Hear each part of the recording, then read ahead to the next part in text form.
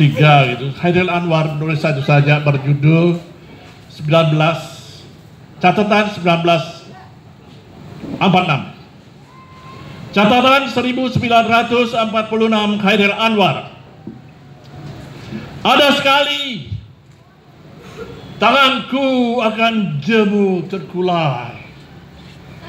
Mainan cahaya di air hilang bentuk dalam kabut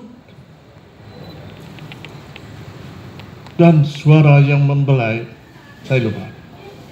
Mari.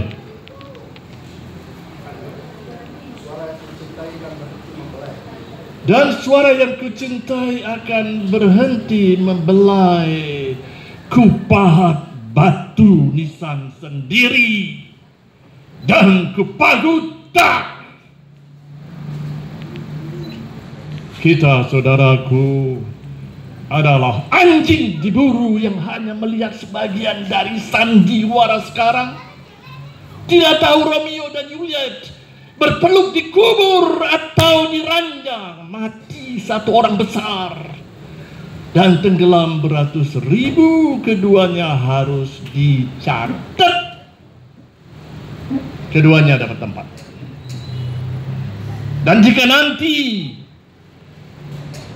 tiada lagi sawan diburu jika bedil sudah disimpan dan kenangan berdebu saudaraku kita hanya memburu arti atau diserahkan kepada anak lahir sempat. Karena itu, please jangan mengerdip, tatap dan asah terus penamu. Tulis di atas kertas gersang, tenggorokan kering, sedikit mau basah. Terima kasih.